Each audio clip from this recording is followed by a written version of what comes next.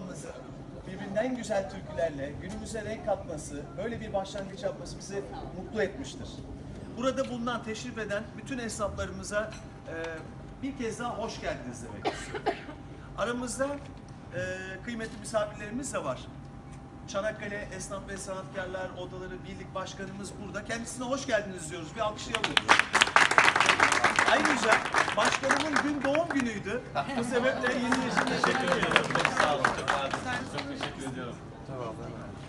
Ayrıca Aydın Çarşımızın başkanı e, Neslihan Hanım burada. E, o da katıldığı için teşekkür ediyorum. Terziler Odası Başkanımız burada. Hoş geldiniz.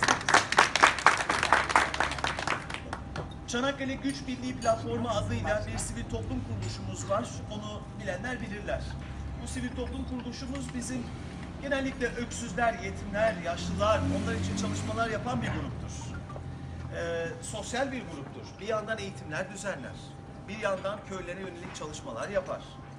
Bir yandan evlenme durumunda olan ama gelinliğini alamayanların gelinliğini verir. Bir yandan bebek arabaları temin eder.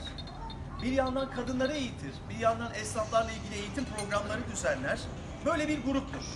Yaklaşık 250 Çanakkale'linin olduğu bu grup Çanakkale'mize kendince bir şeyler katma gayretindedir.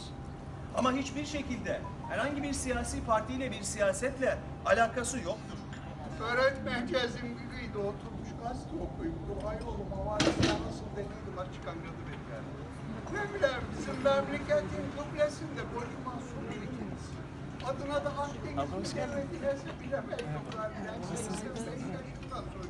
çıktım.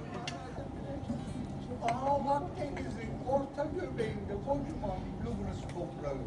Kıbrıs toprağı denilen yerde de bizim Türklerin Urumcavurları karışık yaşarlar. Urumcavurlar da Yunan cinsinden köklerini kıran giresi. Yağlı kurşun önüne gelesi hortlayası rezikte. Bizim Türk'ten çok çocuklar eziyet çekip de öldür öldür veriyorlar. Bana